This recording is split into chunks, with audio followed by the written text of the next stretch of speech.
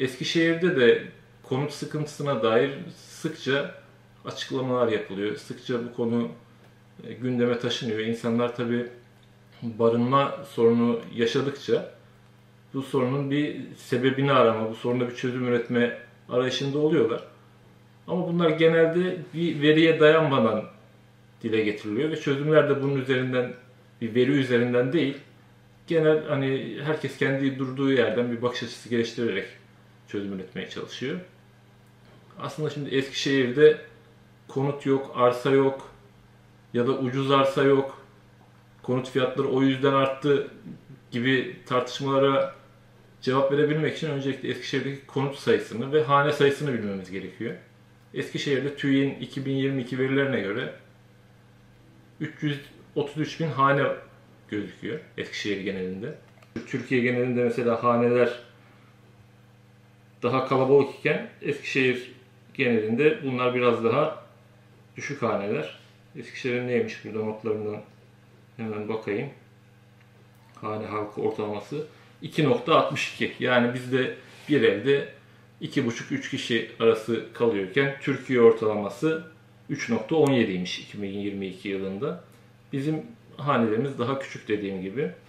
Peki Eskişehir'de toplam konut sayısı ne diye baktığımızda ulaştığımız rakam 460 bin civarı. Burada bir tutarsızlık var. Yani 330 bin hane var, 460 bin konut var. O zaman normal şartlarda bir barınma sıkıntısı yaşanmıyor. Konut fazlası var gibi bir sonuç ortaya çıkması lazım. Ama tabii burada ya verilerde bir sağlıklı durum yok ya da şöyle şeyler gerçekleşebiliyor. Bir kişinin 3 hanesi, 3 dairesi, 4 dairesi, 5 dairesi var.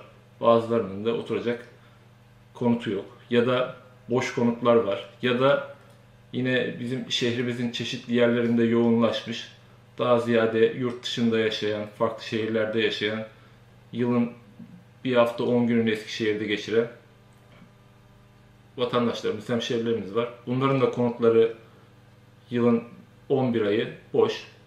Hani böyle durumlar söz konusu. Böyle olunca açıkçası konut sorununu tek sebep olarak ucuz arsa bulunmaması ya da yeterince konut bulunmamasına bağlamak gerçekçi değil diye düşünüyoruz. Konut sorunu komplike bir sorun. Tek bir çözüm önerisiyle çözülebilecek bir sorun değil.